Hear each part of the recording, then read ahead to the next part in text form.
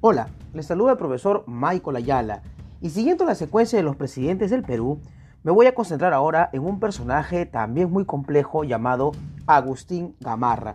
Agustín Gamarra Mesía, básicamente, natural de Cusco, del Virreinato del Perú en esa época, ¿no? Nació en el año 1785 y muere en Ingaví, en cercano a La Paz, en Bolivia, el 18 de noviembre de 1841. ¿Cómo murió? Les voy a contar después. Llegó a ser presidente en dos ocasiones. Vamos a hablar ahorita de la primera. En este caso, en este caso de 1829 a 1833. Lamar había sido derrocado. El general Lafuente va a asumir momentáneamente el poder, pero no se quiere quedar con él, así que va a llamar a elecciones. ¿Cómo funcionaban las elecciones en esta época en el Perú? Con los colegios electorales. Representantes en cada, en lo que sería pues en esa época en cada, en cada departamento, entre comillas, ¿no? Y estos representantes pues elegían, ¿no? Más o menos era la, consigna, obviamente el Congreso intervenía en ese proceso, era pues un sistema bastante engorroso, bastante primitivo, en realidad quienes gobernaban el país eran las élites, ¿no? Hablamos del 5% de la población total del, país, el 95% pues compuesta de mestizos, indígenas, em, esclavos, bueno, población afroamericana, estaban marginados de, la, de, de estas posibilidades. Bueno, Agustín Gamarra, a diferencia de Lamar, es un hombre ambicioso. A él sí le gusta el poder, le encanta el poder, ¿no? disfruta del poder. Así que tiene proyecciones eh, continentalistas. Él está pensando como ha pensado Bolívar en su momento y también como pensó Napoleón en su momento. Él está pensando en una cuestión expansionista. Tal es así de que hasta los últimos momentos de su vida va a pensar que Bolivia debe someterse al, al dominio de Perú. Y si es posible, ¿por qué no? La Gran Colombia, si se puede. Bueno, ¿qué decirles de él? Este señor, bueno, estuvo, estuvo capacitado como un hombre de guerra eh, durante el virreinato, estuvo bajo las órdenes de Goyeneche, de Joaquín de la Pezuela, de José de la Serna, hizo una destacada labor, hizo una destacada labor como militar, era un militar brillante, muy estratégico, muy temperamental, siempre a la vanguardia, siempre se le vio así a, Agustín Gamarra. Pero bueno, luego se pasa al bando libertador y fue un, fue un gran cambio, fue un, buen aliado para San Martín. Fue, fue pues este, ha llegado a Santa Cruz también y a toda esta generación. La cuestión es que Gamarra, Gamarra pues toma, toma el poder y él va a recibir una serie de conspiraciones. Si Lamar recibió tres conspiraciones, este hombre tuvo más o menos 25 conspiraciones. Pero acá hay una diferencia. Tuvo pues una esposa llamada Francisca Subiaga. ¿Se acuerdan del cosito que le decían Ollanta Humala? Ya no es nada, no es nada, nada comparada a Francisca Subiaga. Una mujer que se vestía como hombre, una mujer que era capaz de agarrar la pistola y agarrar el fusil o la lanza y lanzarse a caballo contra el enemigo. Se cuenta la leyenda pues de que un cuartel se quiso revelar a Gamarra y que ella misma fue a caballo y, adelante empezó a meterle chicotazos a caballo a los soldados que se habían revelado. Si no fuera por ella, quizás el gobierno de, de Gamarra habría sido, habría sido más corto. Bueno, así rapidito les voy a contar entonces su primer gobierno. Bueno, primero busca aliados. Él busca aliados y se da cuenta que el Congreso tiene el poder, ¿no? Y es así de que no le va a hacer caso a la Constitución de 1828 y va, va a construir un régimen autoritario. Todo se mueve desde el Ejecutivo. Se da cuenta pues de que el, Congreso tiene demasiado poder y a raíz de esto dice, no, voy a, hacer, a movilizar las leyes de tal manera que sea el Ejecutivo el que tenga pues la preponderancia.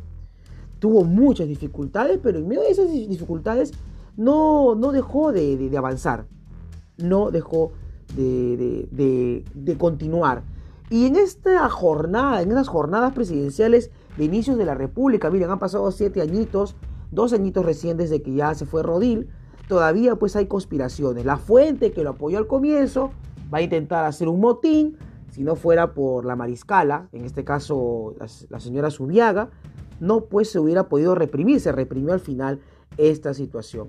Bueno, eh, el, señor Francisco de Paula González Vigil, el poder detrás del poder, eh, fue muy ambiguo en, una primera, en una primera instancia, ¿no? Eh, pero, pero poco a poco empezó pues ese señor a criticar, a criticar, ¿no? Yo debo acusar, yo acuso, ¿no? Es un discurso en el que él va a denunciar la tiranía de, de Gamarra. Importante, importante, eh, durante este proceso sabe Gamarra que necesita pactar, digamos, pactar la paz. Es así que en Guayaquil se firma pues un, tratado en donde con la Gran Colombia se logra pues un, armisticio, ¿no? Eh, luego pues ustedes sabrán de que ya se parte la Gran Colombia en, cuatro países, ¿no? Y este, Ecuador por un lado, Panamá, Venezuela y Colombia, ¿no? Van a ser ya países independientes, si se dan cuenta, Colombia, Venezuela y Ecuador tienen la misma bandera, ¿no? Así que la situación se pone un poquito más complicada sobre el tema de Guayaquil, ¿no? La gente de Guayaquil no quiere ser parte del Perú, digamos, una mitad.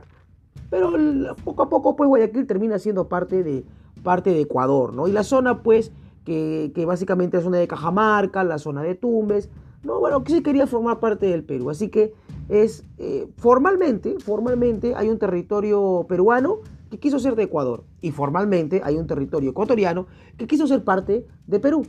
Así que este conflicto no resuelto va a continuar, bueno, hasta 1945, después con unos conflictos en 1980 y luego con unos conflictos en el, en el 93, en 1993. Ya vamos a hablar en su momento de eso.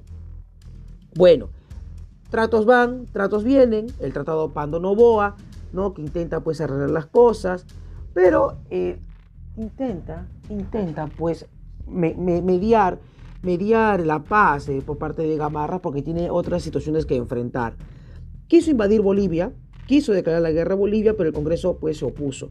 Bolivia en este momento también es una maraña también de complejidades, una maraña, una maraña de problemas también, eh, también es, ¿no? Pero este, económicamente estaba relativamente mejor Bolivia que Perú. No se da, no se da en este momento, digamos, un conflicto con Bolivia. También los territorios no están totalmente delimitados y ya se imaginarán, pues, todos los conflictos que van a aparecer. Chile, Chile está al acecho de, un poco más de territorio, porque en verdad en la repartición no le fue muy bien. En fin, se dan una serie, pues, se dan una serie de situaciones propias de los gobiernos, conspiraciones, pero en ese proceso se intentan hacer algunas obras, ¿no? Se reorganiza la Casa de la Moneda, ¿no? Se, se, intenta regular las, las, contribuciones, se inaugura el muelle del Callao, se, establece pues una dirección de aduanas, se crea el departamento de Amazonas, un poquito para cuidarse pues de una posible, de una, posible confrontación con Ecuador, se funda el colegio militar y este, también se organiza el Convictorio de San Carlos, una serie de actividades, ¿no? Se ensaya, se ensaya una nueva forma de administración, pero todo siempre desde, desde el Ejecutivo. Ahora, Gamarra quería el poder, pero trataba de buscar la legalidad en medio de todo. Es así que cuando termina su mandato, él llama a elecciones. El detalle es este, él llama a elecciones pensando que el candidato, su candidato, pues iba a ganar. Y, se dan las elecciones y no gana su candidato, que es Pedro Bermúdez. Quien va a ganar es José Luis, José Luis Orbegoso. Gana José Luis Orbegoso contra, bueno, contra todo pronóstico, luego también de, de una elección ajustada, pero cuando hablamos de una elección ajustada, es que las elecciones de esta época eran súper corruptas, súper corruptas, ¿no? Eh, Gamarra, Gamarra va a ser un personaje que va a intentarle dar estabilidad al país. Mm, ¿Lo logra? ¿No lo logra?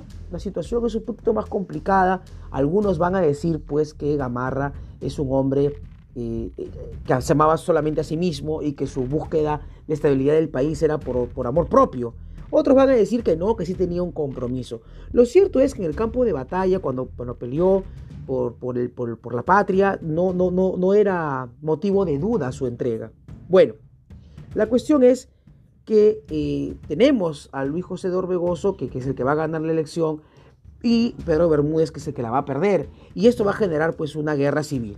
Ya estamos. Y miren, estamos entonces 1834 ¿no? No han pasado pues, ¿cuántos años? 9, 13 años y ya tenemos una guerra civil. Bueno, han habido ya confrontaciones, pero esta, esta ya es un poquito más grande, ¿no? Y, es, la gente que había estado en el virreinato empieza a extrañar el virreinato. No empiezan a decir, bueno, pues al final estábamos mejor con el virreinato, ahora los criollos se paran peleando entre ellos. ¿Dónde está pues este, la, la famosa libertad que teníamos? La situación en realidad estaba bien crítica y no solamente en el Perú, sino a nivel a nivel sudamericano. Ecuador pasaba por lo mismo, Venezuela, Colombia, Argentina, Chile no tanto. Chile tuvo era el menos, el menos malo, digamos, de, en cuanto a estabilidad política se tratara. Y obviamente, pues, obviamente, pues, eh, un, escritor eh, va, va, a decir, y cambiamos mocos por babas, dijo así, ¿no? Eh, entonces, como, como, como, para, como para hacer alusión a que estábamos pues en una situación buena y ahora estamos en una situación terrible. Y esta fue la, estas fueron las circunstancias por las que van a aparecer pues dos movimientos literarios, ¿no? El criollismo y el anticriollismo, que van a irse turnando en cuanto a bromas, en cuanto a insultos, ¿no? En cuanto a, conflictos. Y esta parte pues es muy graciosa porque los anticriollistas van a, ser, van a dilapidar a los, a los criollistas y viceversa, unos defendiendo a la República que dicen, bueno, está joven, tenemos que ser tolerantes hasta que nos arreglemos, pero el otro grupo conservador va a decir, no, no, no, no, todo estaba bien con España, regresemos a España. Ahora, quiero que entiendan al Perú en ese momento, ¿no? Un Perú que, que había salido recién del dominio español, y que ahora miraba con, nostalgia, miraba con nostalgia esos tiempos pasados que fueron mejores. Lo cierto es que el conflicto entre los gamarristas y los orbegosistas se dio una y otra vez, intentaron enfrentarse, se llegan a enfrentar en, más de una ocasión, pero, pero por el bien de la paz y porque tampoco tenían dinero, porque ese era otro problema del país, no había pues solvencia económica, y los, digamos, los banqueros, los nobles, los, los, los hacendados, las personas que manejaban económicamente el país, eh, daban un dinero u otro según las circunstancias, ¿no? La cuestión es que eh, en, medio del, en medio de la pelea, pues en medio de, la, de los distanciamientos y los conflictos, se intenta llegar a un, a un acuerdo en el famoso abrazo de Maquinguayo al norte de, Jaura, de Jauja. Perdón. Así que los rebeldes depusieron las armas, bueno, y se reconoce pues el gobierno de Orbegoso, que no va a ser el más, que no va a ser el más exitoso. Lo cierto es que Gamarra, bueno, estuvo en Arequipa y estando pues él en Arequipa, obviamente no tuvo mucho cariño porque había pues un conflicto histórico entre Cusco y Arequipa. La cuestión es que eh, Gamarra se tiene que ir, se tiene que ir, se, dirige pues a Bolivia y eh, la mariscala, ¿no? Francisca Subiaga se va a Chile, ella va a morir pocos años después. Bien, es lo que les puedo, lo que les puedo contar hasta ahora del buen Gamarra, porque la situación con él no termina, no es un capítulo cerrado. Gamarra va a aparecer una y otra vez porque ama, ama el protagonismo. Este señor le encanta el protagonismo, le encanta, le encanta tener la presencia, digamos, como, como, como presidente, va, a movilizar ejércitos, es un hombre pues bastante activo a diferencia de Lamar y su final va a ser bastante trágico. ¿Cómo termina? Será motivo pues de otro podcast. Que les vaya muy bien y aquí terminamos pues la entrega de el presidente del Perú, Agustín Gamarra de Naturales de Natural de Cusco. Que les vaya muy bien. Sean felices. Chao.